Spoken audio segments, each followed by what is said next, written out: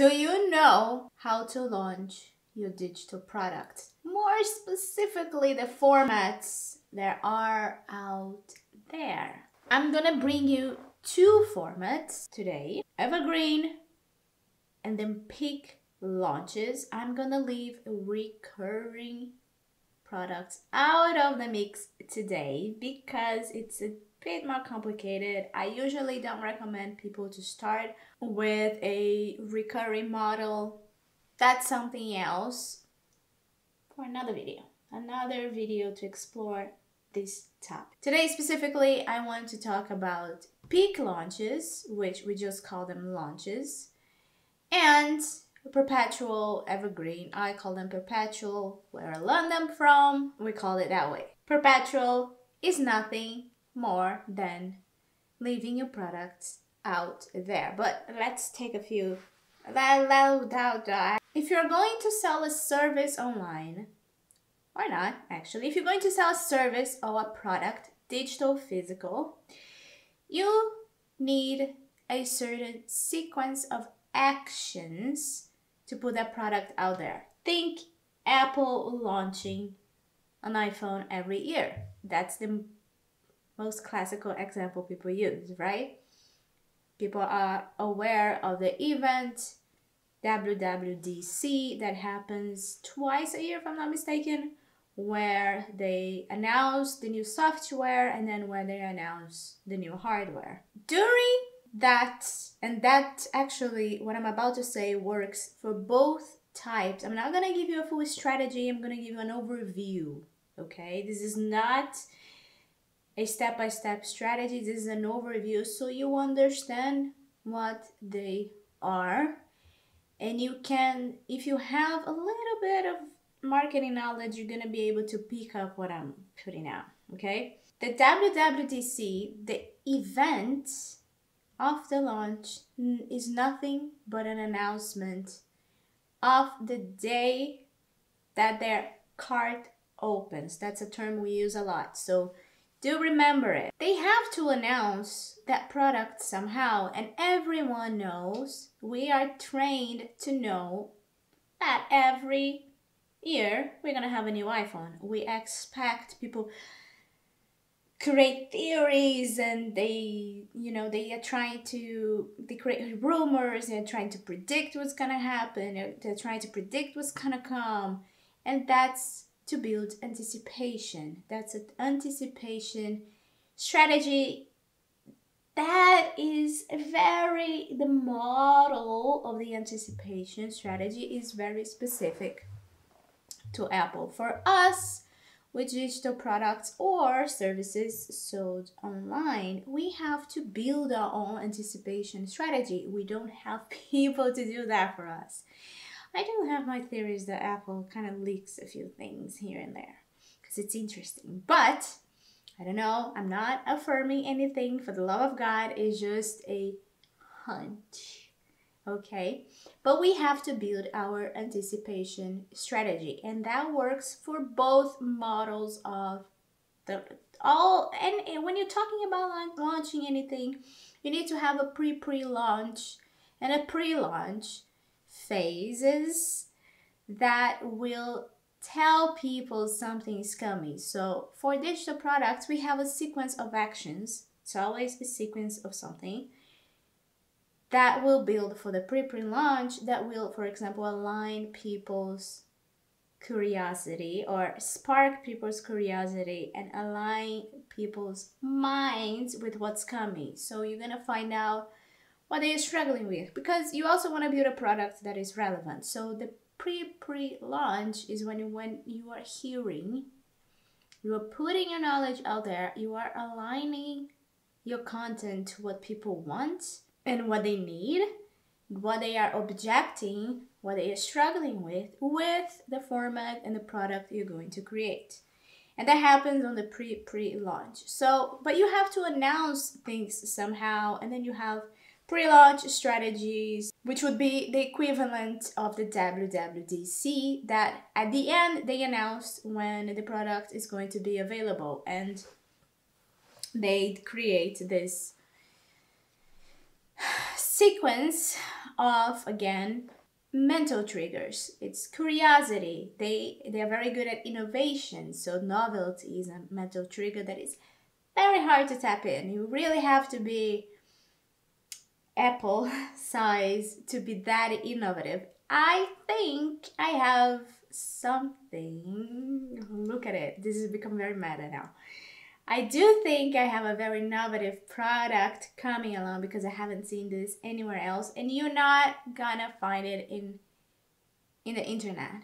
I little bit on that video that has become the one video that I mention in every video. So it's gonna be linked here somewhere. I explain, I give, I give it a little tease of it, of what's coming. But novelty is a mental trigger that is really tough. So you build anticipation, you build curiosity, you build social proof, you build reciprocity on a pre-pre-launch. You start a lot with reciprocity and a few other mental triggers and I'm not gonna go into. And then you have a launch day and you launch that. Now, for a peak launch, you have seven days that people can buy your product. That's why it's called a peak. So you have also scarcity and urgency involved in that peak launch. Now I'm just gonna compare the. I have my notes here, but I'm doing everything by heart. I just know this so like wholeheartedly that I don't think I even need my notes. I'm gonna leave them here. Leave them here. You you have the possibility to create the scarcity and the urgency. You know, the cart is closing in one hour. It's a sequence of emails you send. It's a sequence of contact that you send to your lead, to your email list, your leads. So you build your list on your pre-pre-launch so that when you start your pre-launch, you have people watching, right? It's like Apple announces it but people already know it's coming. So that pre pre launch, the anticipation is natural with Apple in a way at this point. People have been trained to it. It's really nice to train people when you are launching a very exclusive mentoring group mentoring that only a few you know there is a limited amount of people that can join usually the software actually gives you that limit so zoom whereby they give you that limit so that you create a peak in revenue. There's a book called Launch by Jeff Walker that was just recently updated as well that you should read to understand a little bit of the mechanics of it. But there are other strategies than the one listed in there. People are already trained with that sort of launch method and so we can get creative to create new things one of my mentees, I'm not gonna mention him here, but specifically, he we've created a completely different pre-launch strategy for him. It's completely new because he has a very strong brand universe and we found a format of a pre-launch that isn't an event like Apple does a physical event that is live streamed when you're selling digital products, you might do a sequence of lessons or maybe a challenge week where people do get results. It's important that if you're selling a transformative product, like a digital product, people need to get some kind of result out of it because you don't want to waste people's time. And you want to show that there is more that they can get once they join your product because, you know, you deserve that you have the merit of your work. You've spent, I don't know how long, how many hours, I've spent a decade to get where I am, to collect all the information, to create my methods, to think about strategies, working with clients, yada, yada, yada. You deserve that. Okay? If you're teaching people, you deserve to be honored. Your work needs to be honored. Anyway, then the other alternative is to create an event and leave the product to be bought at any time. And usually those products that you leave running in the perpetually are lower ticket, are of a lower ticket because then you are going for volume and they are at the top of the funnel of your product funnel.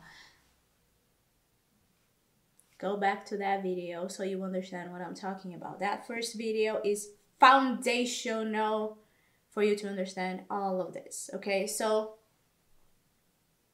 the perpetual launch will give you the volume will help you bring you will help bring you new people into your funnel, into your Instagram, into your email list, whatever your strategy is going to be. And you need to remember that certain products, my camera is shaking.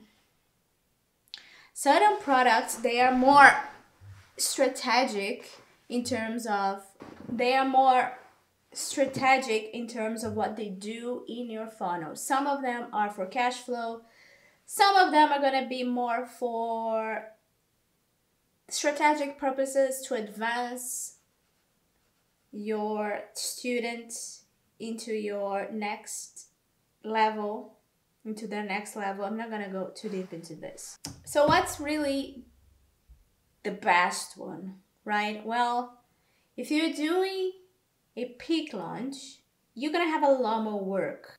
It's a lot more stressful it's a much bigger structure, even though it might not seem because it's a shorter time, but it's a much bigger structure than your recurring. The recurring does require the recur- recurring. The perpetual requires certain extended care, right? You have if you're running ads, you're gonna have to check those ads if you are um, you're gonna have to improve improve the product improve the you are gonna have to improve the product as well which in a peak launch you will improve that product for the next class for the next time you launch it. You're gonna launch it three to four times.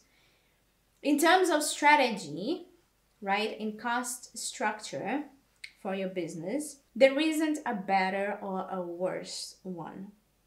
If you're willing to take on a challenge of doing live streams, of going out there and putting your your ideas in front of people, then you can start with a launch, a regular launch. But if that's not for you, you can do a different type of strategy. I'm not going to discuss the strategies here. And go with a perpetual. Ideally, you have a both.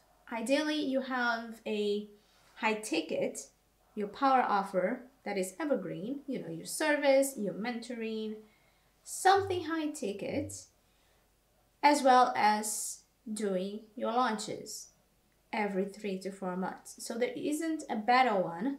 There is a more intense one, and there is a less intense one. One becomes sort of a routine, perpetual, and the other one becomes a challenge.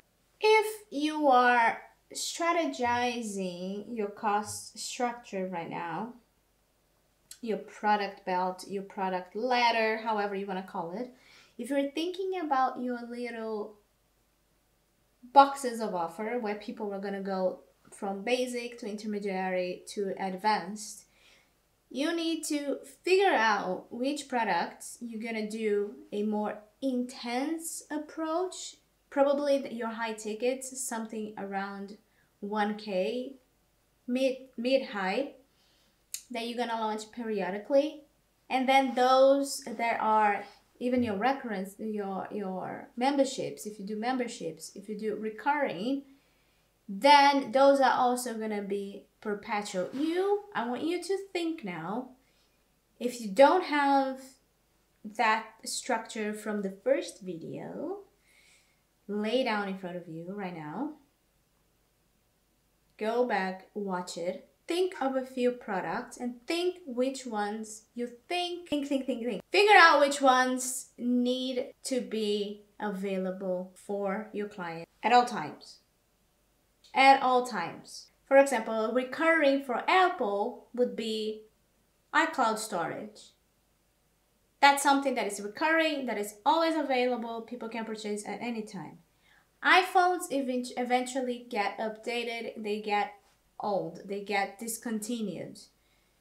So they are more towards, it's a kind of a weird one because it's a physical product.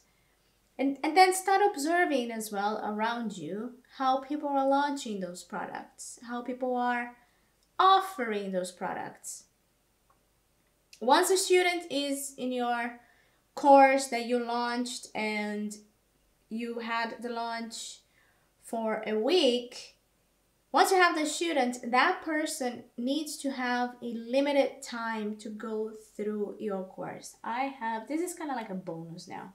I like to have longer videos. I think it delivers more. I've made this mistake where I left, I left it open for too long. I had people had infinite access to the content and what happens is that it eliminates the urgency to go through the content. It eliminates the action. People are bad at buying something and then actually using it which is crazy. They will pay money for a course that they want that will solve their issue. There's gonna like maybe it's big issue in their lives and they still don't go through it. They'll pay for a membership and they're not gonna go through the content. It is insane to me. Creating those scarcities, those urgencies, and that sort of availability, limiting their availability, increasing the contact that people have with you do after the sale, okay, in both cases, will help people stick as well as help you sell more of your product belt okay? Keep an eye out because i'm writing the ebook finalizing the ebook for the infinite product method that i'm going to teach you to build that selection of offers divided by basic intermediary intermediary and advanced products for your customers perfect for anyone who is willing to create a hybrid business or you want to offer your service or your physical product paired with digital products because you want to raise the amount of revenue or the LTV, the lifetime value, the average ticket the person spends with you in a life, lifetime. Perfect for those that want to work solely online like I do. I do offer services, but they are digital services. They are offered virtually, like the mentoring. No limits in industries. Some industries you will need to circumvent. If you want to know if your industry can take advantage of the method, comment in here, message me on Instagram, reach out to me somehow, and I will answer you that question. Any other question that you have about the method, the infinite product method, don't hesitate. Come talk to me. I am reachable, completely reachable, especially on Instagram. Go there. The link is in the description. I'm glad to help, okay? Like and subscribe and goodbye.